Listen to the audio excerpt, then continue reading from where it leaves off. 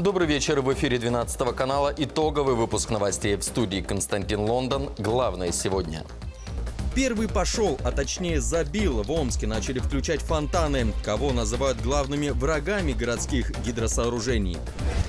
ЕГЭ и получение аттестатов под угрозой срыва. Учительница опять там в нервном каком-то порыве, да, там села, там закрылась, как говорится, и не знает, что делать. Старый конфликт в Горячеключевской школе под занавес учебного года разгорелся с новой силой. Слили и залили намертво.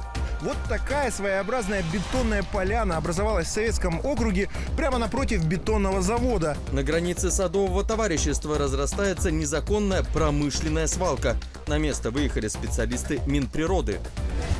В прямом смысле прикоснуться к искусству и звездам. Уникальные проекты для незрячих людей в Омске и Таре. Зверствовали на чистую голову. Стали известны результаты психолого-психиатрической экспертизы подростков, обвиняемых в тройном убийстве в селе Юрьевка.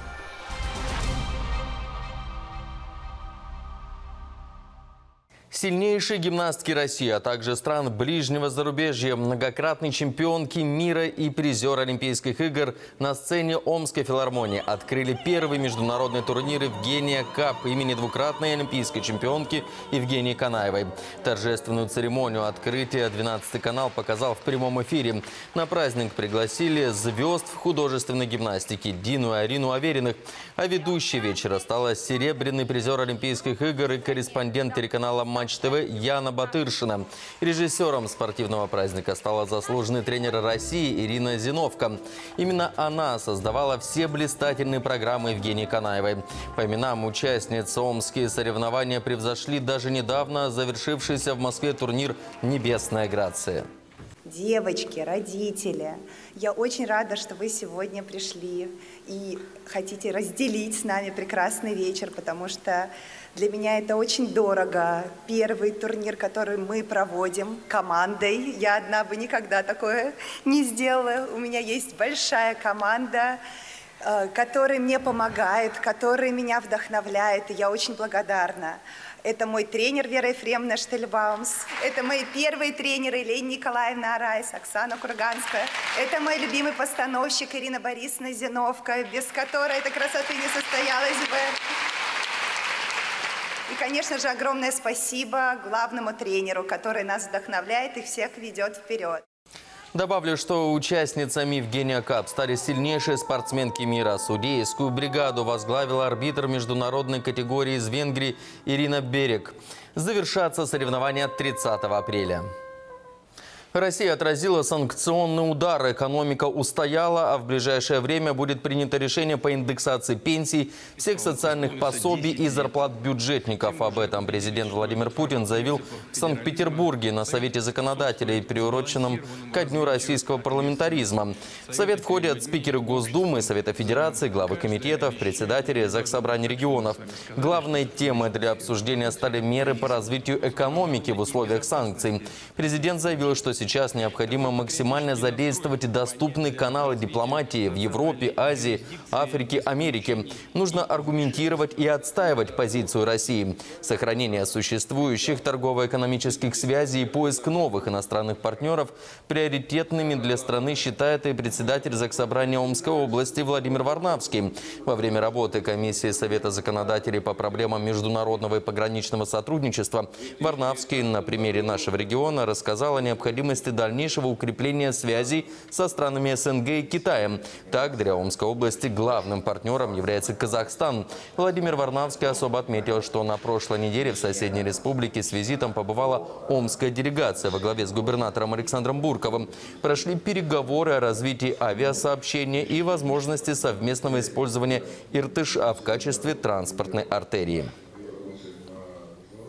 Студентов Омского аграрного университета начнут обучать по новым стандартам. Сегодня ВУЗ и Министерство образования подписали соглашение о создании на базе учебного заведения образовательно-производственного кластера в рамках программы «Профессионалитет».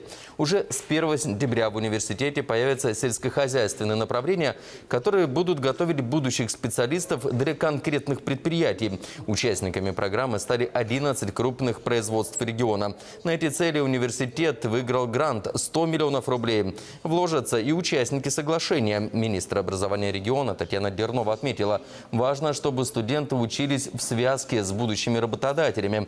Это нужно, чтобы ребята к моменту окончания университета были, что называется, как рыбы в воде на рабочих местах.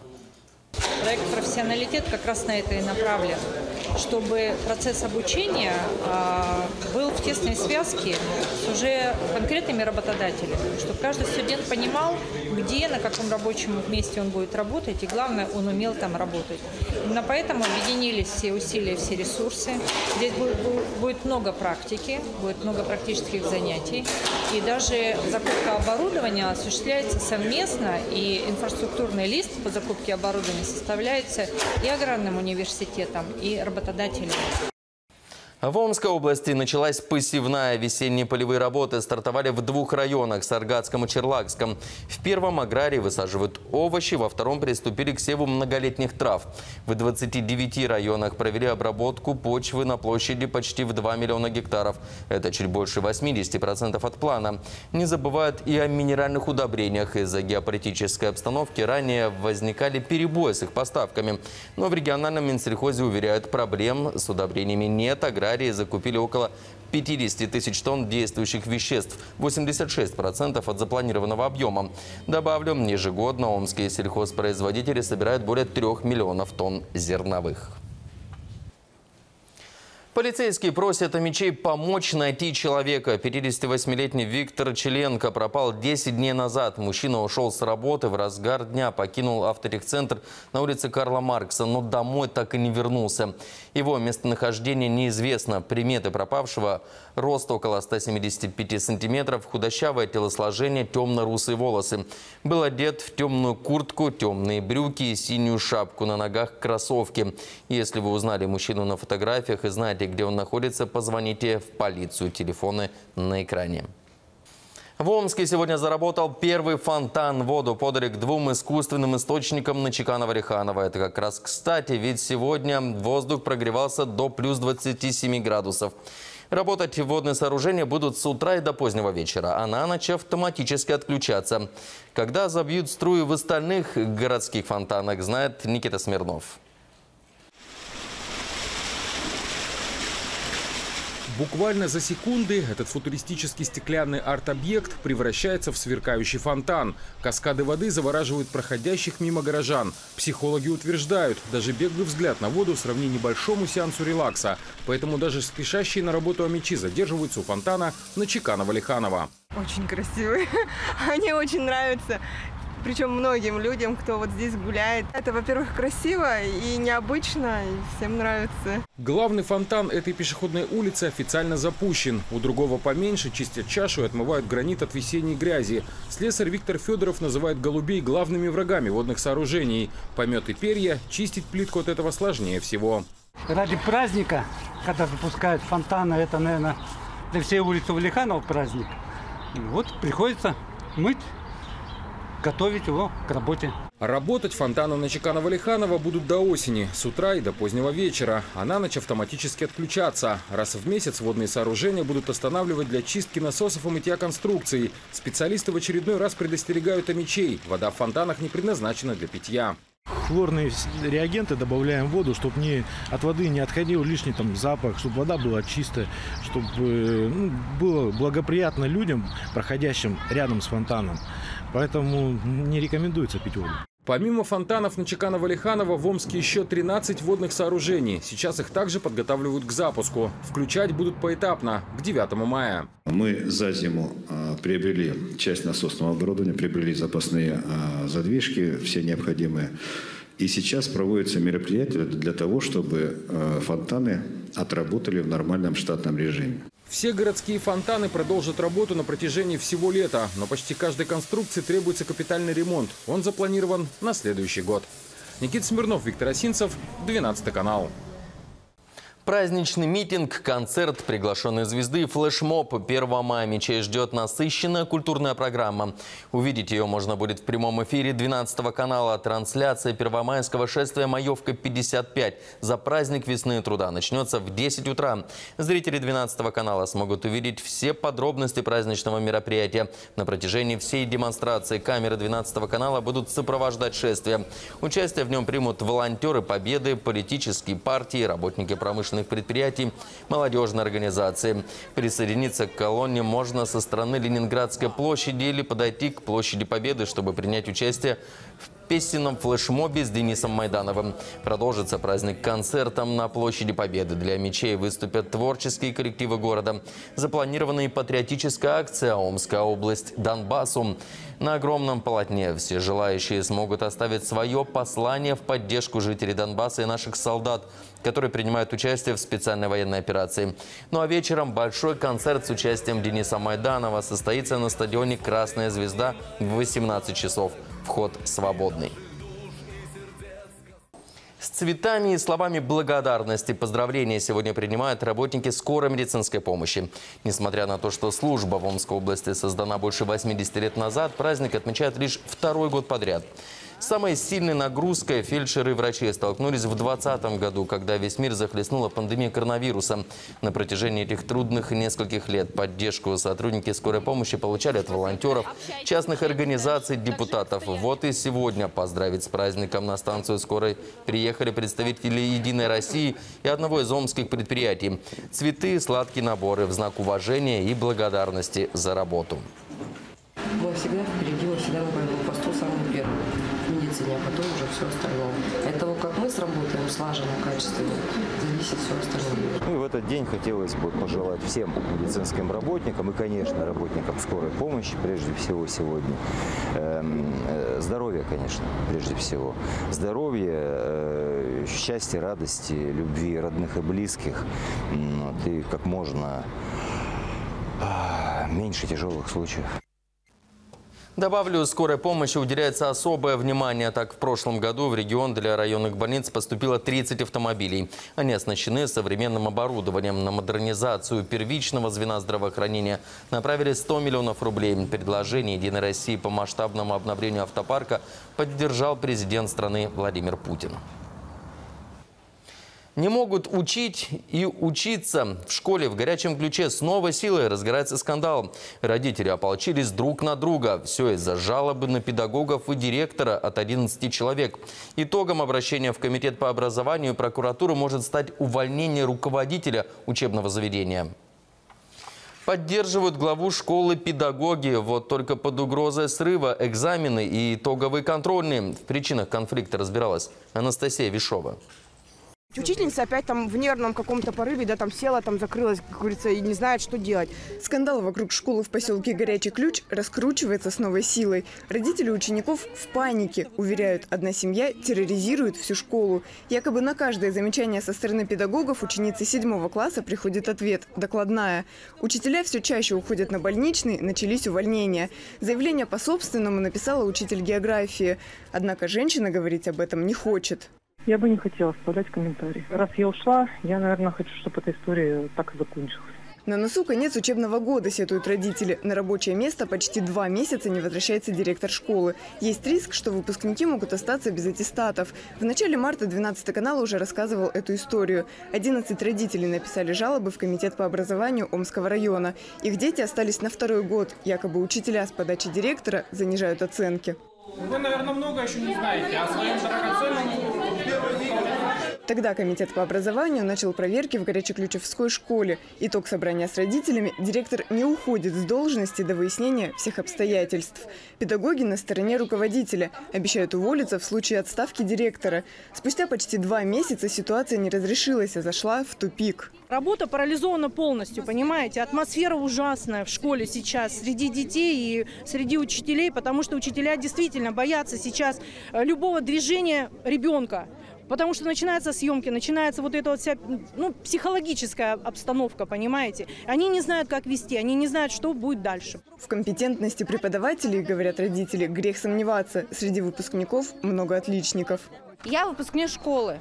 У меня в классе было три золотых медали. То есть уровень наших учителей довольно-таки высокий. А вот к девочке, главной героине конфликта, стоит присмотреться повнимательнее. У меня ребенок рассказывает, учителя к ней относятся хорошо. Они даже говорят лучше, чем к нам. Насколько я знаю, что были пропуски, потому что была ситуация какой-то а, предмет нужно было исправить. Она сказала ей прийти исправить, и мой ребенок пришел исправить. То есть она не пришла. У родителей, которые написали жалобы, другая версия. Уволился учитель географии и биологии не из-за них. По результатам проверок региональное министерство образования выяснило, на должность географа, нарушив все правила, назначили психолога. Оставлять детей на второй год по результатам итоговой контрольной, без учета промежуточных оценок, и вовсе незаконно. Мама девочки, которую теперь винят в уходе географички, заявляет, у педагогов педагогов личная неприязнь к ее дочери. Например, часть ошибок в работе ее ребенка подрисовал учитель русского языка. Получаем оценку 2-3. И увидели там подрисованные ошибки. Нас даже аттестовал комитет по образованию. Они признали, что ребенка должны были аттестовать, проверив это, перепроверив, э, у них была комиссия экспертная. Это уже самый настоящий буллинг, жалуется Екатерина. В родительский чат уже не раз сыпались предложения забрать ребенка из школы. Насовсем. Впрочем, уходить некуда. Это единственная доступная школа. По мнению специалистов, выход из этой ситуации один – сесть за стол переговоров.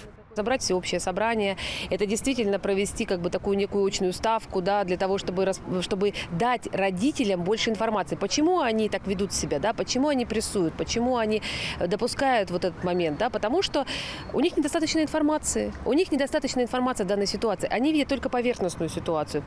Окончательно поставить точку в конфликте может только директор. Через два месяца истекает срок максимально возможной продолжительности больничного. После выхода на работу администрация Омского района намерена расторгнуть договор.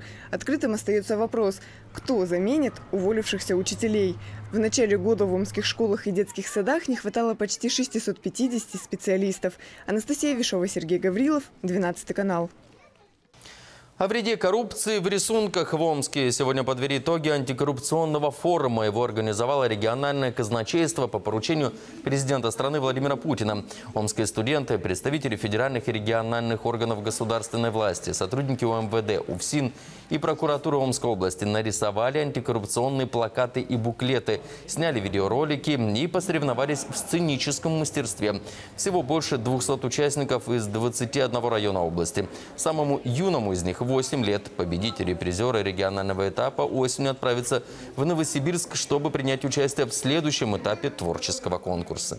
Работы очень интересны, у каждого автора свой подход, очень интересные рисунки. Главная задача этого форума – воспитать у общества невосприятие коррупционных проявлений, чтобы молодежь понимала, осознавала и у нее воспитывалось невосприятие. И смотрите во второй части выпуска зверствовали на чистую голову. Стали известны результаты психолого-психиатрической экспертизы подростков, обвиняемых в тройном убийстве в селе Юрьевка. Слили и залили намертво. Вот такая своеобразная бетонная поляна образовалась в Советском округе прямо напротив бетонного завода. На границе садового товарищества разрастается незаконная промышленная свалка. На место выехали специалисты Минприроды прямом смысле прикоснуться к искусству и звездам. Уникальные проекты для незрячих людей в Омске и Таре.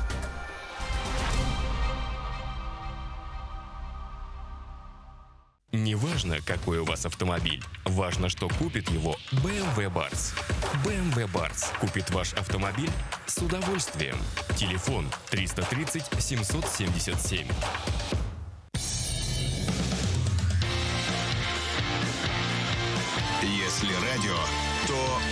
Максимум 105 FM эм в Омске.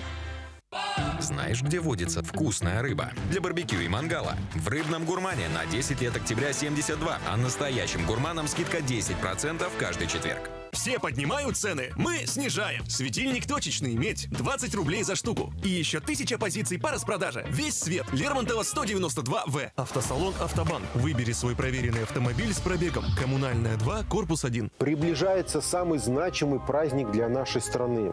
От лица общественного движения «Мой Омск» и от себя лично поздравляю с наступающим днем Великой Победы дорогих ветеранов – и приглашаю всех омичей принять участие в патриотическом конкурсе. Общественное движение «Мой Омск» совместно с 12 каналом проводит конкурс «Мы помним, мы гордимся». С 25 апреля по 6 мая снимите детское видео поздравления, посвященное празднованию Дня Победы, отправьте его в личные сообщения в официальные аккаунты 12 канала и получайте возможность выиграть велосипед, самокат или роликовые коньки. Лучшие видео поздравления украсят праздничный телеэфир 9 мая. Подробности конкурса на сайте 12канал.ру и в социальных сетях. Без возрастных ограничений. С наступающим Днем Победы! Желаю мирного неба всем жителям нашей сильной, великой страны.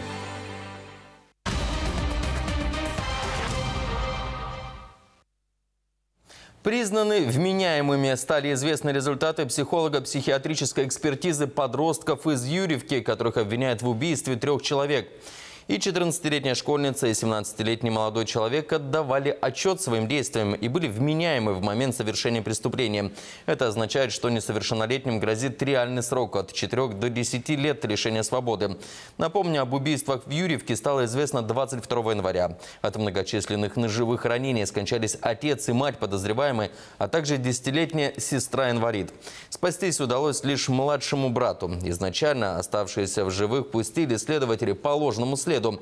Якобы убийство совершил неизвестный. Но позже выяснилось, что к трагедии причастна 14-летняя дочь, погибшая ее 17-летний возлюбленный. Родители, по их словам, запрещали им встречаться.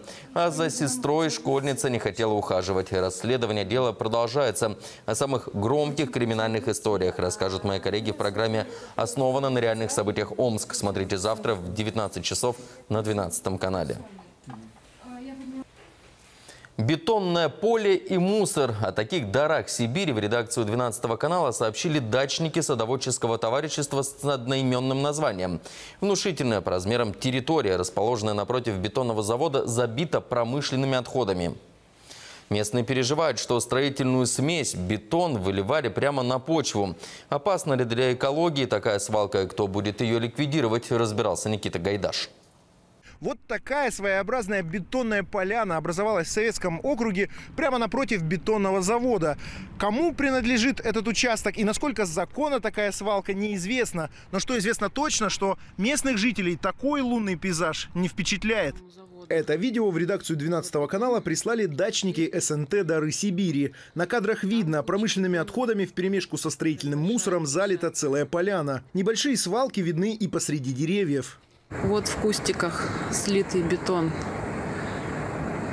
Идем дальше. Вот что превратили землю. Поймать за руку тех, кто загрязняет территорию, местным не удается. Видимо, предполагают, дачники работают ночью или ранним утром. Но наличие именно промышленного мусора главным подозреваемым среди людей делает бетонный завод, расположенный через дорогу. В очередной раз заезжал э, в СНТ свою через э, Доковскую. Проезжал мимо активно развивающейся свалки сливают бетон, какие-то отходы, канал, непонятно, что происходит, все очень активно загрязняется. Хотел бы обратить на это внимание. Вместе с нашей съемочной группой на место образовавшейся несанкционированной свалки выехал и представитель регионального Минприроды. После непродолжительного рейда обнаружено еще несколько мест складирования твердых коммунальных и промышленных отходов, в том числе и слитого бетона. Все нарушения зафиксированы. Теперь задача ведомства определить собственника загрязненного земельного участка. Это может быть какой-то частный собственник или арендатор. То есть... Но и опять же, не факт, что территорию тут загрязняет собственник. Собственно. Да, но за территорию отвечает собственник земельного участка. Однозначно я могу сказать, что на почву такие дела то есть, не выливают. Именно собственник земли по закону обязан следить за ее состоянием. Поэтому вне зависимости от того, кто здесь оставляет промышленные отходы, отвечать придется хозяину участка. Виновных же в загрязнении будут искать полицейские. Акт осмотра несанкционированной свалки специалисты Минприроды передадут в правоохранительные органы. В ближайшее время оформим это все и будем направлять информацию, да, будем направлять, а, запрашивать сведения, да, правообладателей этого участка. Визуально, что мы с вами увидели на сегодняшний день, мы это все напишем, да, и отправим полиции, кто это все мог совершить для поиска виновных лиц. Как только владельца участка найдут, он должен будет добровольно ликвидировать свалку. В противном случае предстоит судебный процесс. Никита Гайдар, Сергей Никифоров, 12 канал. А мечей предупреждают об изменениях в работе общественного транспорта. Об этом сообщают в профильном департаменте мэрии. Касаются они маршрутов, которые пролегают через центр города. По случаю репетиции проведения Парада Победы ряд улиц перекроют как для личного, так и для общественного транспорта. В связи с чем автобусы будут ходить по измененным схемам 5 числа с 19.30 до полуночи, 9 мая с 7 утра и до часа дня. Движение троллейбусов номер 2 и номер 4 на это время отменятся совсем. Подробнее ознакомиться с изменениями в маршрутной сети можно на сайте мэрии 12 канала. На юбилейной флоре представят природные ландшафты Омского региона. Посреди выставочного и Воскресенского скверов появится степь, лесостепь и сибирская тайга. В мэрии раскрыли подробности предстоящей традиционной городской выставки зеленого строительства и цветоводства. Сейчас завершается разработка концепции, в которой принимают участие агрономы, архитекторы, флористы, дизайнеры и студенты. Так, Флора-2022 будет посвящена сразу двум юбилейным датам – 70-летию самой выставки и 200-летию летнему юбилею Омской области. В тематических экспозициях помимо цветов будут использоваться природные материалы. Дерево, камень, хвойные породы, сухоцветы. А оформление скверов дополнят декоративной подсветкой. Добавлю, что посетить флору в этом году амичи смогут с 5 августа. Проходить выставка будет в течение пяти дней. Передавать законодательные инициативы депутатам Государственной Думы мэр Омска обсудил сегодня с руководством Федерации Омских профсоюзов идею по организации прямого диалога с Нижней Палатой парламента. Сергей Шелест обозначил самые острые вопросы. Справедливое распределение налоговых поступлений, ликвидация алкомаркетов из жилых домов и незаконное содержание наружной рекламы. Кроме того, участники встречи договорились детально рассматривать каждое обращение профсоюзных организаций, если оно касается нарушения трудовых прав работников. На заседании обсудили городские финансы, ремонт школы, оплату детских садов, летний отдых несовершеннолетних, озеленение и благоустройство, земельные отношения и проблемы городского транспорта. У нас соглашение подписано с мэрией города Омска о совместной работе на 22-24 годы. Мы готовили это, очень серьезно это соглашение. Все пункты были обговорены с двумя сторонами. Заработная плата, охрана труда, условия работы, занятость населения, все предприятия. Очень важно, чтобы были заняты. И мэрия, конечно, и сам мэр очень много уделяет внимания. Мы будем откровенно разговаривать по тем проблемам, которые есть в городе и которые есть в профсоюзе. Значит, более 200 тысяч а, практически членов профсоюза, и это такая огромная, я бы сказал, а, сила, которая, возможно, изменить жизнь в городе в лучшую сторону.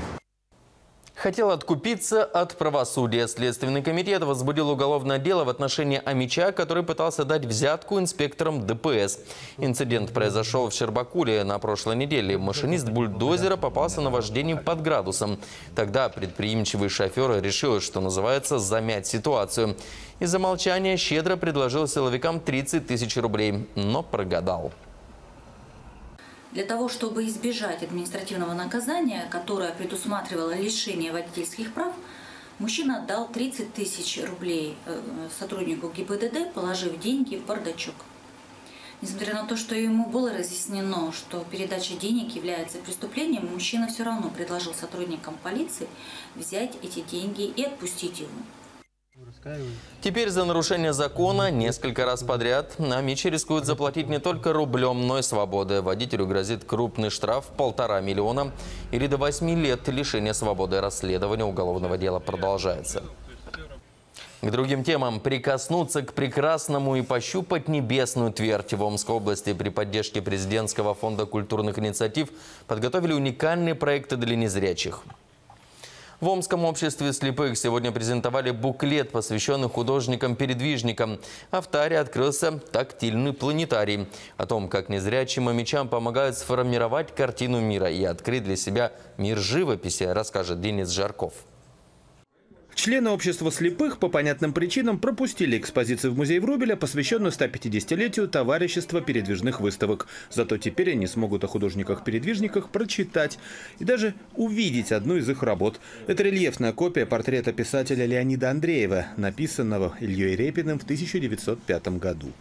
Для нас это очень-очень важная история, потому что она партнерская, нужно был и перевод на шрифт Брайль, нужно было и отрисовать э, живописное произведение для того, чтобы перевести его в рельефную форму. И для нас большая радость, что проект случился, и Президентский фонд э, культурных инициатив поддержал э, эту историю, сделав искусство доступным для всех. Буклеты передадут в адаптивную школу, библиотеку для незрячих и отделение общества слепых. Как отметил председатель Омской организации Глеб Новоселов, большинство информации в мире рассчитано на визуалов. Поэтому хорошо, когда учитываются интересы тех, кто познает мир не глазами, а на слух и на ощупь. Проект, безусловно, полезен, как любой проект, который направлен на э, инклюзию, который направлен на то, чтобы люди с инвалидностью, ну, в нашем случае, да, люди с инвалидностью по зрению, они э, как-то расширяли свой мир окружающий, да, как, каким-то образом по получали какую-то новую информацию. Копия портрета заслуживает особого упоминания. Рельефное изображение получилось четким, понятным, дающим максимально точное представление об оригинале. Никаких лишних подробностей, которые бы только сбивали с толку. С этой проблемой столкнулись и авторы тактильного планетария, создавая рельефные карты звездного неба, модель Солнечной системы и карточки созвездий. То, что мы изначально придумали, оно не читалось. Было очень много деталей, и люди просто вот тотальники, они просто как в лабиринте путаются, что здесь вообще есть. Ребят, объясните. Ну, мы объясняем, вот так, так, так здесь изображено. Упрощайте. И мы упрощали. И вот где-то несколько месяцев у нас там ушло просто на одну карточку. Когда мы поняли, как она теперь устроена, что нам нужно, вот оно все появилось. Проект уже презентовали в Омске и Селькуле, теперь настала очередь Тары. Теперь и там слепые могут дотянуться до звезд и оставить на далеких планетах следы пальцев, познавая на ощупь устройство Вселенной. Эвидан. Вот это вот. Это тут здесь понятно написано. А там, где планеты, шрифт непонятный. Крупные сильно эти гвоздики. Буковки, можно сказать так. Планеты интересные. Вот, и все интересно было про звезды, про планеты, про это, про всякие разные. Это люблю. И старый тактильный планетарий отправится в Калачинск, а потом в Называевск. В планах авторов расширить выставку, чтобы можно было презентовать ее не только в отделениях общества слепых, но и в культурно-досуговых центрах. Ведь проект будет интересен и зрячим. Такую искусную работу действительно стоит увидеть. Денис Жарков, Анастасия Копейкина, Денис Лопарев, Александр Харченко, 12 канал. Далее прогноз погоды, но все наши новости доступны в социальных сетях ВКонтакте, Телеграме, Одноклассниках и на Ютубе. Найти их можно и на сайте 12канал.ру. Также вы можете предложить свои новости, прислать их нам по электронной почте или позвонить в редакцию по телефону 695-641. Оставайтесь с нами.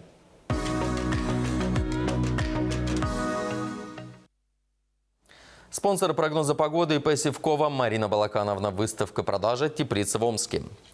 Завтра, 29 апреля, в городе облачно с прояснениями. Температура воздуха ночью плюс 11, в дневные часы до 24 градусов тепла.